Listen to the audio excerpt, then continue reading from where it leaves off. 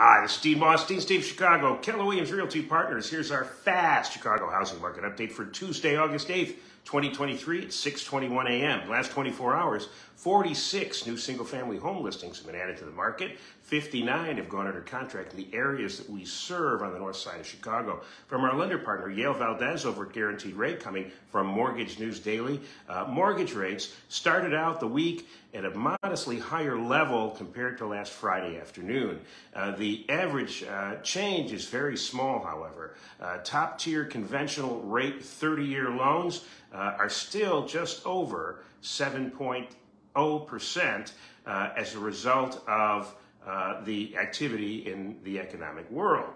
At the close of business yesterday, average 30 year fixed conventional rate mortgages uh, increased by 0.03%. They now average 7.06%. Uh, for the latest real estate trends and an uh, estimate of your home equity, we'll contact our team today for up to the minute mortgage rates in your specific situation and to apply online. Contact Yale over Guaranteed Rate to reach either me or Yale. Comment below and we will get back to you promptly. Have an incredible day.